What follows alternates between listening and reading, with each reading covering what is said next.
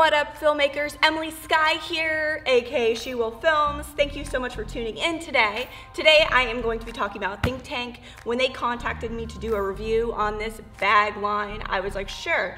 I haven't heard of them before they sent it to me, and I'm so happy that they reached out because let's just talk about how aesthetically pleasing everything is, but most importantly, it really protects your gear.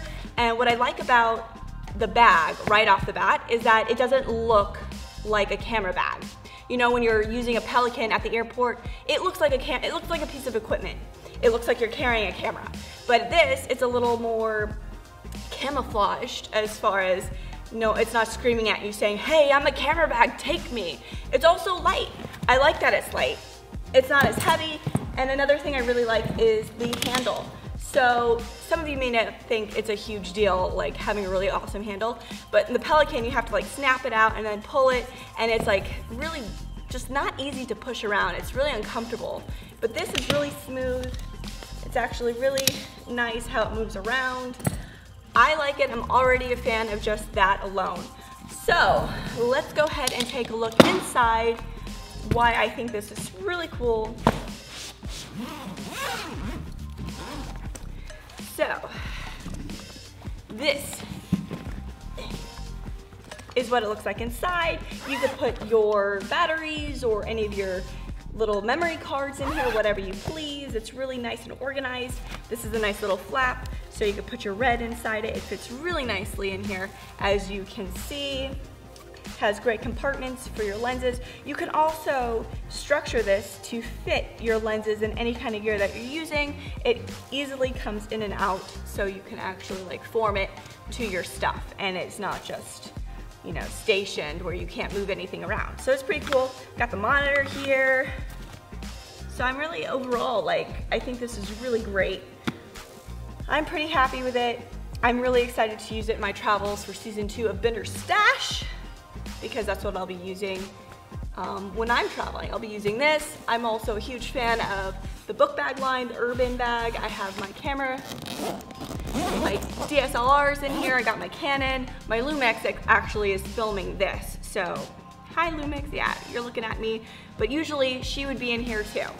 So it's really nice. It's got a space for my laptop too, which is back here put your laptop back here. It's really nice, or an iPad. got some good compartments.